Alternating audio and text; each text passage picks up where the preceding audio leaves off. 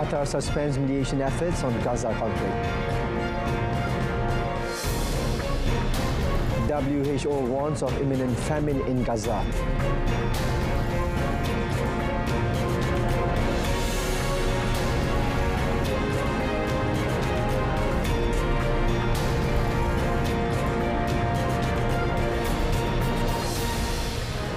Hello, good afternoon and salam Malaysia Madani. Thanks for joining us. I'm Sahih Samsudin and you're watching World Today.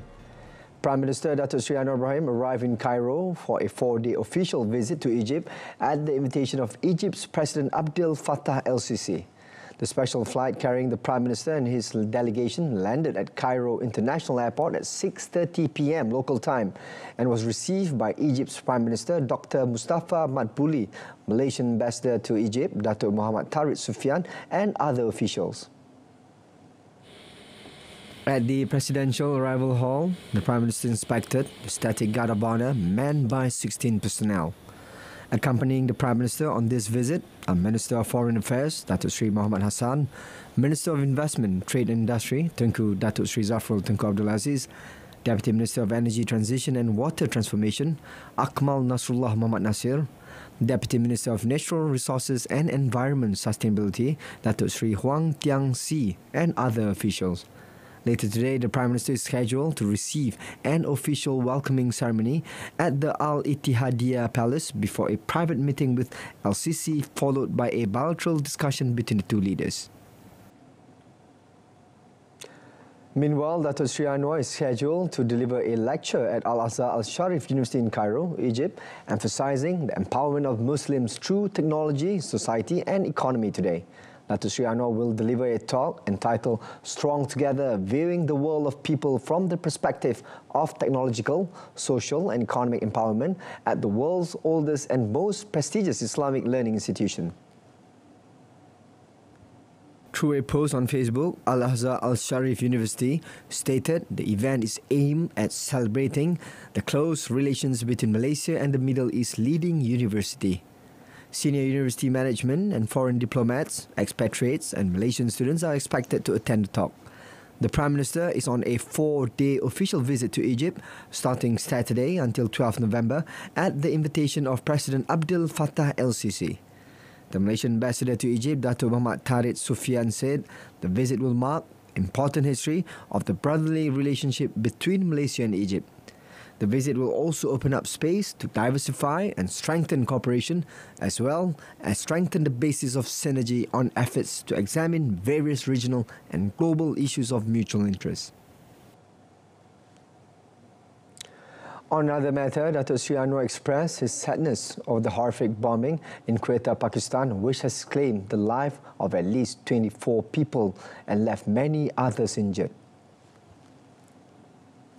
In a social media platform, Prime Minister extended his condolences to the people of Pakistan who mourn this senseless and devastating loss. He also added that these acts of utter ruthlessness and violence targeting both civilians and security personnel are stark reminders of the relentless threat posed by extremism and ideological rigidity forces that undermine progress and peace in Muslim societies. He reaffirmed that Malaysia stands firmly in solidarity with the government of Pakistan in its steadfast fight against terrorism.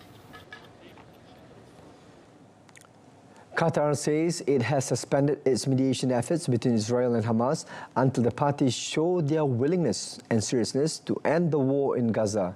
In a statement on X, Qatar's foreign ministry spokesman Majid Al Ansari said Qatar had informed the relevant parties 10 days ago of its intentions. Earlier on Saturday, it was reported a diplomatic source as saying that Hamas' political office in Qatar no longer served its purpose.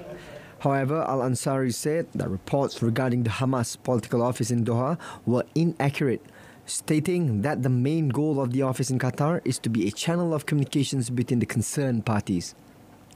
A senior Hamas official said they were aware of Qatar's decision to suspend mediation efforts, but they were never told to leave. Qatar's announcement comes after growing frustration with the lack of progress on a ceasefire deal. There continued to be no end in sight to the Israel Hamas war in Gaza and the Israel Hezbollah war in Lebanon, where Israel's military claimed it struck command centers and other infrastructure overnight in Beirut's southern suburbs.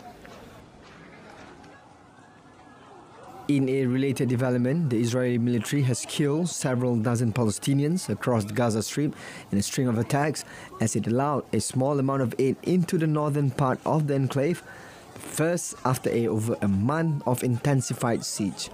Medics said at least 40 people were killed across Gaza since dawn, including 24 in the north. At least six Palestinians were killed in the targeting of the Fahd al Sabah school, sheltering displaced people in the Tufa neighborhood on Saturday. Two local journalists, a pregnant woman and a child, were among the dead. Five more were killed in the Shujaia uh, neighborhood of Gaza City, while Israeli sniper fired killed at least one person in the Zaytun neighborhood. The death toll from Israeli bombing of tents for displaced people in the so-called humanitarian area of Al-Mawasi in southern Gaza's Khan Yunis reached at least nine. A child and two women were among the dead, according to the Nasser hospital, which received the casualties. On the 400th day of the war on Saturday, the Gaza Ministry of Health announced that at least 43,552 Palestinians have been killed and 102,765 injured. The actual number of dead is presumed to be far higher, with an estimated 10,000 bodies buried under the vast rubble of destroyed buildings across the enclave. Meanwhile, protesters gathered in Tel Aviv on Saturday to mark 400 days since a war erupted on 7 October 2023, demand for ceasefire and the release of hostages. Protesters once more were demanding that Israeli Prime Minister Benjamin Netanyahu secure a deal to release the hostages taken by Hamas, while others called for elections and for Netanyahu to step down. The crowd gathered holding placards, posters of hostages and chanting. Qatar's foreign ministry said on Saturday that its effort in mediating a Gaza ceasefire and hostage release deal between Israel and Hamas were currently stalled. The Gulf states' efforts to broker a deal will resume when the parties show their willingness and seriousness to end the brutal war. According to the Palestine's health authorities on Saturday, Israel's unrelenting attacks on the Gaza Strip has killed 43,552 Palestinians and injured 102,765 others over the past 13 months. On a related note, the World Health Organization WHO warned about the escalating crisis in northern Gaza, noting that famine is imminent. WHO Director General Tedros Adhanom Ghebreyesus said findings from the integrated food security phase classification indicates that there is a strong likelihood that famine is imminent in areas within the northern Gaza Strip. WHO called for an immediate scale up and safe access for humanitarian aid, primarily food and medicines for severe malnutrition within days, not weeks flouting a UN Security Council resolution calling for an immediate ceasefire, Israel has continued its brutal offensive on the Gaza Strip since 7 October 2023. The Israeli onslaught has killed 43,550 Palestinians and injured 102,700 others. This is placing almost the entire population of the territory amid an ongoing blockade that has led to severe shortages of food, clean water, and medicine. North Korea staged GPS jamming attacks for the second consecutive day Saturday. South Korea's military said this attack affecting several ships and dozens of civilian aircraft. Local media reported the jamming attacks were conducted in the North Haeju and Kaesong areas, warning vessels and civilian aircraft operating in the Yellow Sea to be cautious of the attacks. Meanwhile, military operations and equipment were not affected. The latest threat came three days after the South's military detected a similar movement on Tuesday. The GPS jamming attacks this week, however, involve a weaker signal compared with the multiple attacks North conducted near the northwestern border areas between 29th May and 2nd June 2024.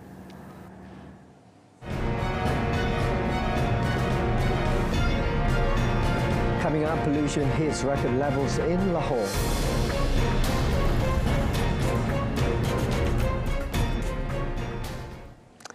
Guangxi, a stunning region in southern China, has captivated ASEAN media participating in the 2024 ASEAN Media Partners Cooperation Week with its breathtaking karst landscape. Let's take a look at a report compiled by Jalberta Robert from Guilin.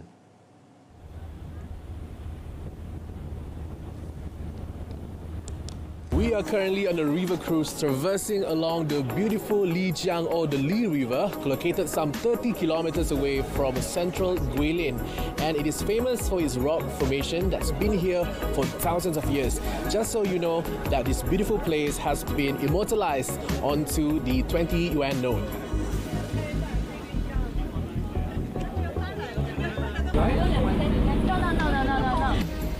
Embarked on a four-hour cruise to witness breathtaking limestone formations, including the iconic Nine Horses Mountain. This geological marvel showcases nine horse-shaped rock figures that have captured the imagination of local artists. Hari ini kami datang ke sini uh, dan menaiki cruise boleh menikmati pemandangan yang sangat indah. Sejak saya kecil saya pernah datang ke sini. Bapa saya bawa saya melancong ke sini dan pada masa itu air sungai masih sama dengan sekarang sebab uh, itu dilindungkan dengan sangat baik dan kali ini saya pun sangat gembira sebab saya berpeluang datang ke sini dengan rakan-rakan dari Malaysia. Kami bersembang dengan sangat gembira. Our group visited the picturesque Yangshuo area, taking a leisurely bamboo raft ride down the Yulong River, surrounded by stunning camel-shaped limestone mountains.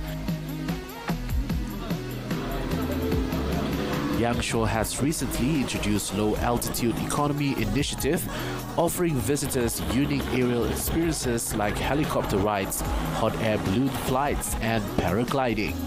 This government-backed initiative aims to revitalize local economy, which was previously impacted by the pandemic. By harnessing technology to protect its stunning landscapes, Guilin is not only preserving its natural heritage but also positioning itself as a world-class tourism city with sustainability in mind. Jabata Robert, Guilin, RTM.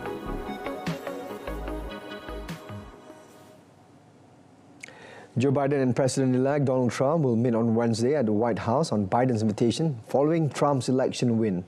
Trump will take office on 20th January 2025 after defeating current Vice President Kamala Harris in the 5th November 2024 presidential election.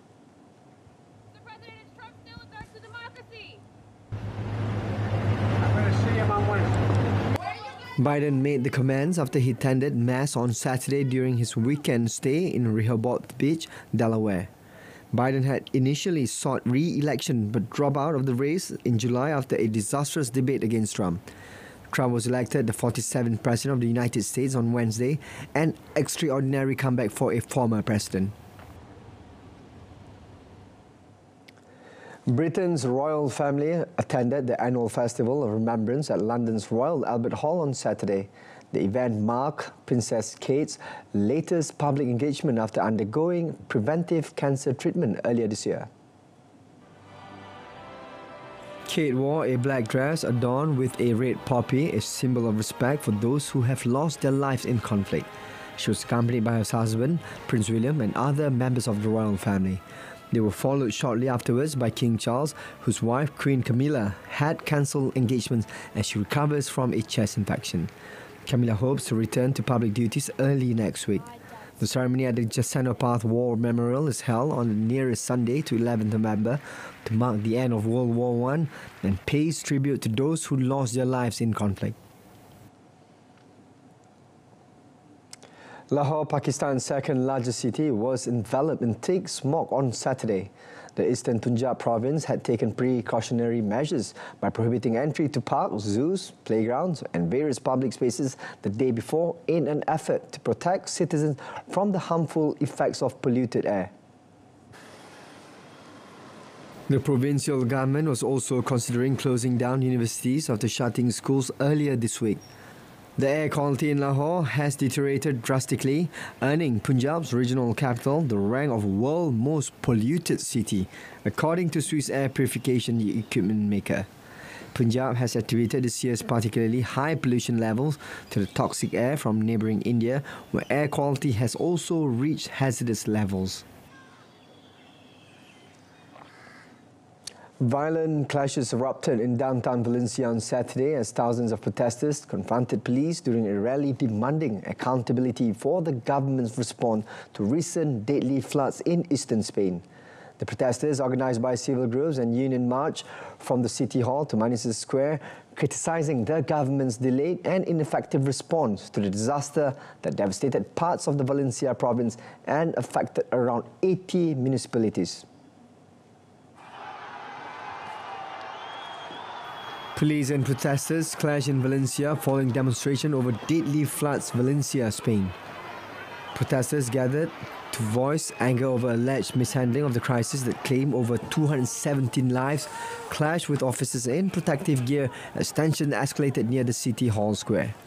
As protesters marched, they also chanted for the resignation of Valencian government president Carlos Mazon, who they blame for mishandling the emergency response. Police responded with crowd control measures as protesters threw chairs and other objects, igniting scenes of chaos amid the large scale demonstration. The October floods left extensive destruction across roughly 80 municipalities, and protesters argue that a lack of effective emergency protocols exacerbated the tragedy.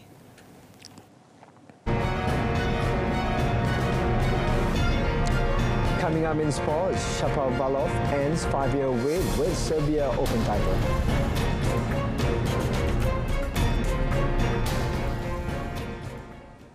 Real Madrid defender Eder Militao will undergo surgery after sustaining an anterior cruciate ligament ACL tear, tear in their 4-0 La Liga win over Osasuna on Saturday and is set to miss several months for the second consecutive season. The Brazil centre-back was injured when he hyperextended his knee trying to strike a rebound early in the game and was in tears as he was helped off the pitch.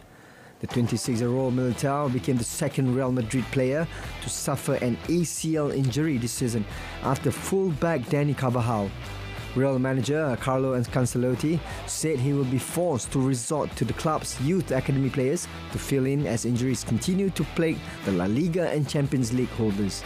In addition to Militao, fullback Lucas Vázquez and forward Rodrigo joined Real's lengthy injury list on Saturday, and Ancelotti said that he will look for solutions inside the club until the transfer window opens in January.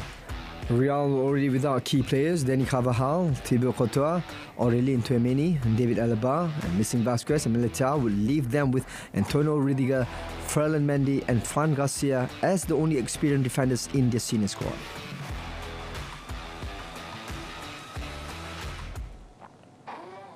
Now on to tennis. Denis Shapovalov of Canada ended a five-year wait for an ATP Tour title as he overcame Serbian Hamad Medjedovic to secure his second Tour title at the Serbia Open in Belgrade on Saturday. Shapovalov, who was competing in his first final since Vienna in 2022, with the home favourite 6-4, 6-4 and moves up to number 56 in the world rankings. 24 times Grand Slam champion Novak Djokovic, who pulled out of the season ending ATP finals through injury, presented the trophy to Shapovalov. Medjedovic was playing in his first ATP Tour final after winning the next gen ATP finals title last year. The 25-year-old Canadian performance indicates a strong return to form following an injury-laden 2023 season. The Belgrade Open results represents a significant milestone in Shapovalov's career revival the Canadian's return to winning form adds another chapter to his professional development while establishing himself once more among tennis competitive ranks. Gauff beat China's Zheng Qinwen 3-6, 6-4, 7-6 in three hours to become the youngest player to win the WTA final since Maria Sharapova in 2004 and the first American champion since Serena Williams 10 years ago. The 20-year-old Gauff stormed to a 6-love lead in the final set tiebreak for six championship points as she eased to victory. The first WTA Finals title for Gauff was made sweeter after a mid-year derailment when attempts to rebuild her serve led to repeated frustrations on the tour and a coaching shake-up. The youngest player to win the season-ending WTA Finals since Maria Sharapova two decades ago, Gauff leaves the first professional women's tennis tournament in Saudi Arabia more than $4.8 million richer and with a WTA title at every level. Olympic gold medalist Zhang seeded seventh, making her WTA finals debut, won the first set in just under an hour, saving all five break points she faced to keep Gauff at bay. 76 minit tanpa henti. 76 minutes non-stop.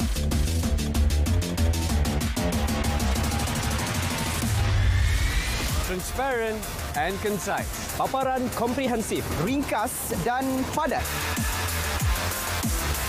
Saksikan Kanta 744 744 malam. Berita perdana 8 malam. Malaysia tonight, 8.30 p.m.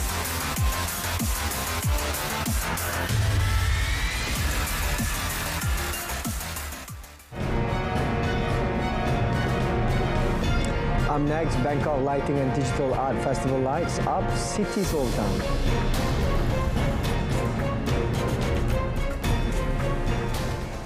A major new facility for television and film production has launched on 4th November in Riyadh, Saudi Arabia.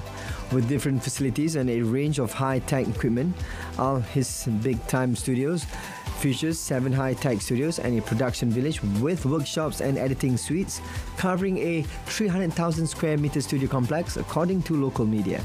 The initiative supports Saudi Arabia Vision 2030, aiming to position the kingdom as a global media hub. المجال قاعد يكبر ويوسع في السعودية بشكل غير مسبوق ونمو آه، جدا آه، جدا قوي. ومع افتتاح الاستديوهات هذه أتوقع إنه النمو بيكون أكبر وأكبر خلال الخمس أو ست سنوات الجاية. الموضوع عظيم يا جماعة الموضوع تخطى الخيال. يعني كنا نخطط نروح الاستديوهات نصور برا وزي كذا. الحين ما عاد صار لحد عذر بصراحة صار تصوير منا وفينا ومنا وإلينا. Designated to attract both Arab international creators, the studios provide comprehensive resources to reduce production costs and foster industry growth. Including advanced technology and luxurious accommodations into their package, Al Hisn's Big Time Studios' goal is to set a new standard for media production in the region and expand local production's role in the entire region.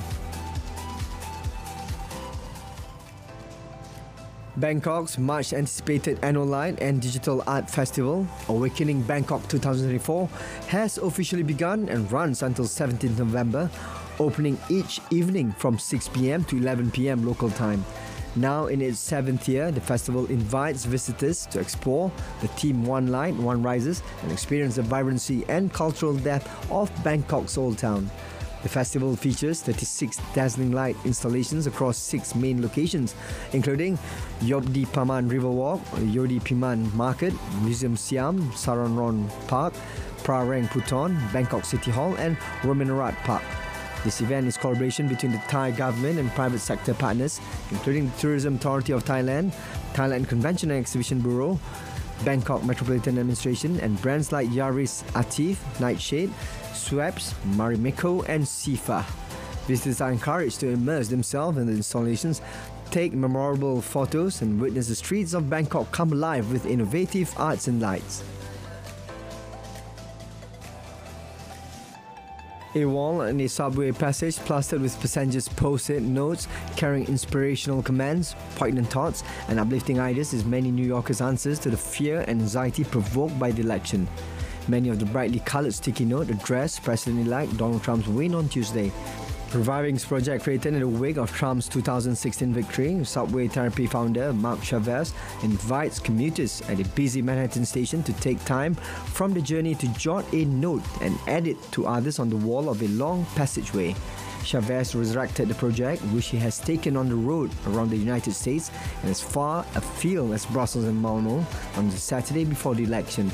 Trump made gains across New York City, which has traditionally been a bastion of Vice President Kamala Harris Democrats, scoring 30% of votes to Harris' 68%, which was 16 points less than Biden's 2020 tally. Tourists, business people, and parents with infants were also among those stopping to read the wall and pen their own notes.